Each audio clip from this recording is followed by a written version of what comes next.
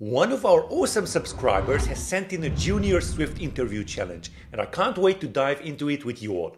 We'll be breaking down the problem, strategizing, and coming up with the most elegant solution. So, if you're ready to sharpen your Swift skills and tackle some coding challenges, let's jump right in and crack this puzzle together. Heads up, Swift UI Camp is going to be open for enrollment on Wednesday, so two days from now. Uh, make sure uh, that you take the Swift UI Mastery test and or book a consultation with me if you want to uh, have the join link uh, sent out to you. Now, uh, we are going to talk about uh, junior dev problem that I was sent. And uh, basically, uh, it's found on LeetCode. It's called Lemonade Change, and we are going to solve it today. So, at the lemonade stand, each lemonade costs $5.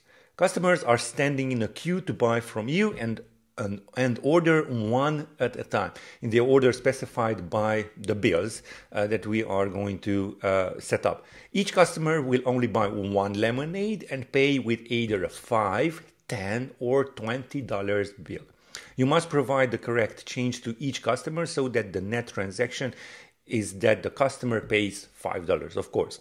Note that you do not have any change in hand at first. So don't have any uh, money in our register. Given an integer array bills, where bills i is the bill at the ith customer pays, return true if you can provide every customer with the correct change or false otherwise. So we might end up in a position, in a situation where we cannot give back to each customer. So let's take a look at the examples what we have over here.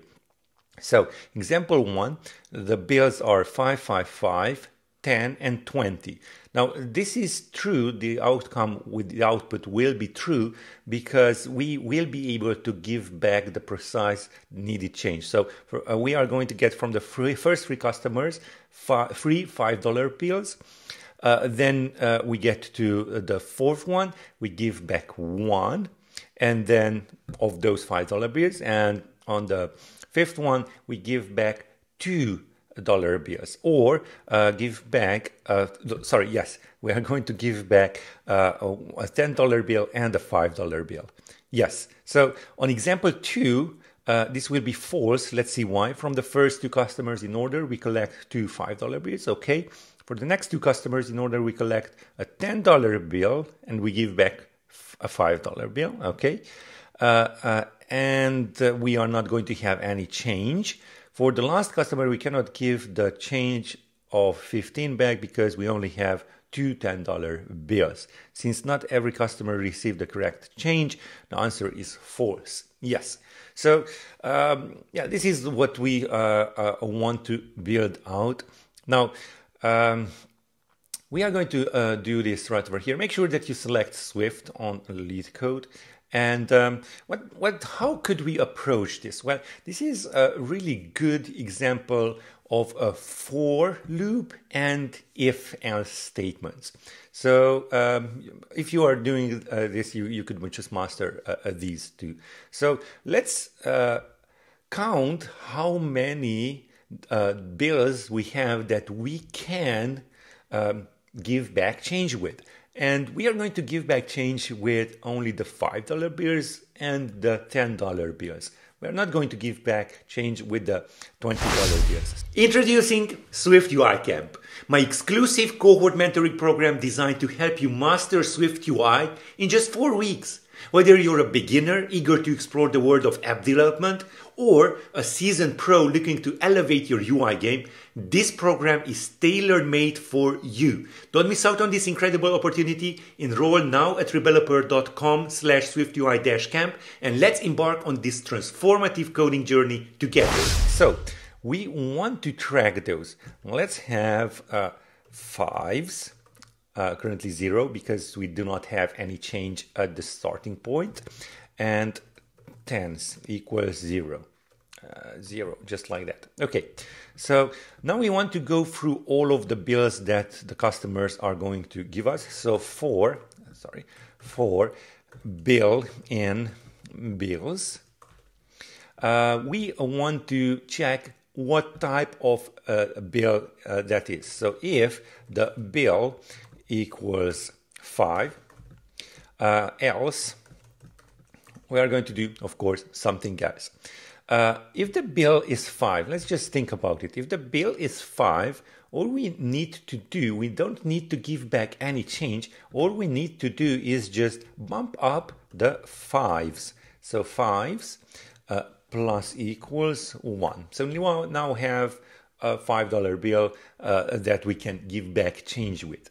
Otherwise, we want to first check if the bill is a $10 bill or a $20 bill. So here instead of else, we are going to have an else if bill equals to 10 and then the else statement for the $20 bill. Okay, so if the bill is a $10 bill, of course we want to bump up the tens, so tens plus equals 1, okay.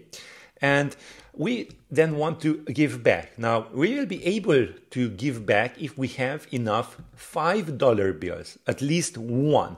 So if fives is greater than zero, so we have at least one dollar bill, then we just simply subtract fives minus equals one, and we can just go to the next customer. Otherwise, if we don't have a five dollar bill, means that we cannot give the proper change back. We should return false. So else we are going to return false. Okay, so uh, that happens when we are getting a $10 bill.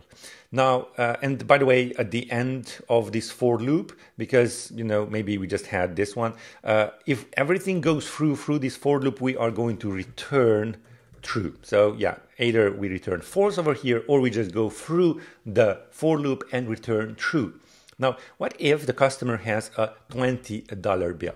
Well, we want to make sure that we have tens and fives because we must have uh, at least five, uh, sorry, at least three uh, fives or a 10 and a 5. So first we want to make sure that we have at least, uh, so the 10s and 5s are not empty. So if tens is greater than 0 and 5s fives is greater than zero, um, then we could just give that change back. So tens minus equals one and fives minus equals one.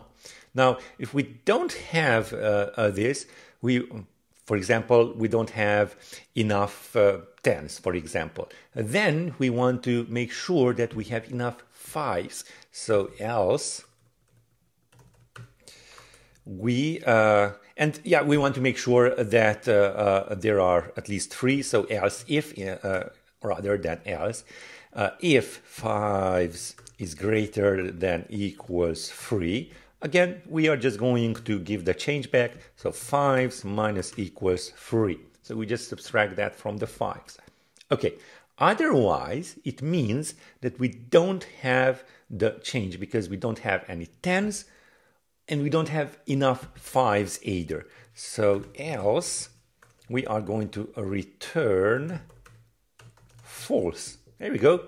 And uh, yeah, this is this is how we should solve it. So after you sign in, uh, make sure uh, that you click on submit right over here. Let's see. Let's see that. And uh, yeah, this is the accepted answer. As you can see, I have tried a few more times. Uh, yeah, runtime beats 78, 79% of users in Swift, and memory beats 89% of users with uh, the Swift solution. So this is really a great solution. Now, if you are interested in learning Swift UI in four weeks, make sure to check out Swift UI camp uh, at rebeloper.com slash swiftui minus camp. It's going to be open on Wednesday and we are going to close the gates on Friday or whenever we hit the five seat limit. Now, if you did like this video, also make sure to check out this video right over here about Swift data.